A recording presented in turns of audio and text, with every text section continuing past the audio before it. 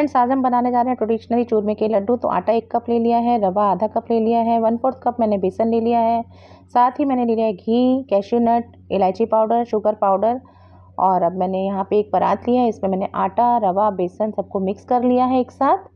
यहाँ पर मैं चुटकी भर नमक डालूँगी और थोड़ा सा मैं डालूँगी मोइन मोइन इतना डालना है कि हमारा जो आटा है अच्छे से मुट्ठी में बनने लगे।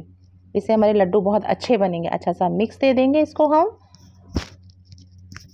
और थोड़ा थोड़ा पानी डालकर ही हमें इसे गूंदना है। पानी एकदम से ज़्यादा नहीं डालना है इसके अंदर, नहीं तो फिर आटा एकदम से रनी हो जाएगा। हमें इतना आटा मारना है कि वो जो लड्डू है ना बनाने में हमको जो प्रोसेस करनी है, वो इजी हो जाए। यानी जो हम मुठिया बनाएँगे या जो हम पूड़ी बेलेंगे इसकी, वो अच्छी बन जाए। इसको हम घी लगा के साइड में थोड़ी देर के लिए रख देंगे, जिससे कि हमारा जो आटा माड़ा है ना हमने, वो सेट हो जाए। अब हम इसकी छोटी छोटी लोइयाँ काट लेंगे। इसको मैं तीन प्रोसेस से बताऊँगी आपको। एक तो मैंने वो गोली काटी थी वो और एक ही मैं बड़ी सी पूड़ी बना ली है, मैंने मोटी सी और इसे मैं बीच में से कट कर दूँगी ट्रायंगल शेप में। आप चार पीस में काट सकते हैं, आप आठ पीस में काट सकते हैं, आप छः पीस में काट सकते हैं जिस हिसाब से आपको फ्राई करने हो उस तरीके से। लेंथ इसकी इतनी रखनी है, मोटाई जितनी मैं दिखा रही हूँ, स्क्रीन पे ऐसी ही होनी चाहिए। परफेक्ट है ये। और जो ट्रेडिशनल तरीका है मुठिया बना के करने का, वो भी मैंने आपको बता दिया।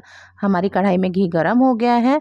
आप चाहें तो इसे रिफाइंड में भी कर सकते हैं, लेकिन घी में इसका फ्लेवर बहुत अच्छा आता है। हम गोल्डन फ्राई होने तक इसे अच्छे से फ्राई कर लेंगे।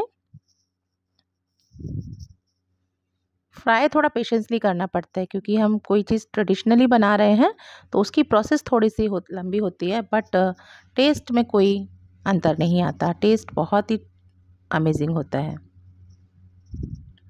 फ्रेंड्स ये लड्डू किसी भी त्यौहार पे बना के आप इंजॉय कर सकते हैं, बहुत जल्दी बन जाते हैं और खाने में बहुत टेस्टी होते हैं, साथ ही बहुत हेल्दी भी होते हैं, क्योंकि ये आटे के लड्डू हैं, बच्चों को बहुत पसंद आते हैं। इसमें हमने कोई भी बाहर का फ्लेवर ऐड नहीं किया है। वो रेडी हो गया है हमारा सिक्कर के मुठिया, जो हमने बनाया था। अब हम इसे तोड़ लेंगे, ठंडा करके मिक्सी में पीस लेंगे। कोर्सली हमको पीसना है, एकदम ज़्यादा बारीक नहीं करना है। यहीं पे हम इसमें थोड़ा सा घी ऐड कर देंगे, शुगर पाउडर ऐड कर देंगे। जितना आप मीठा खाना पसंद करें अच्छा सा मिक्स दे देंगे।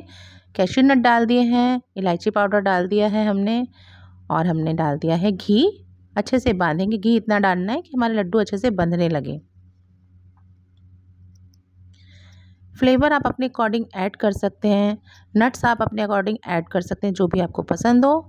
और शेप दीजिए अपने लड्डुओं को, बड़ा, छोटा, मीडियम मैंने यहाँ मीडियम साइज़ में बनाए हैं। बच्चों को बहुत पसंद आते हैं लड्डू। तो आप किसी भी त्यौहार पे बनाइए और बताइए कि आपके लड्डू कैसे बने थे। बहुत ही इजी प्रोसेस से बताया है मैंने। और भी रेसिपीज़ देखने के लिए मेरा चैनल सब्सक्राइब कीजिए। Thank you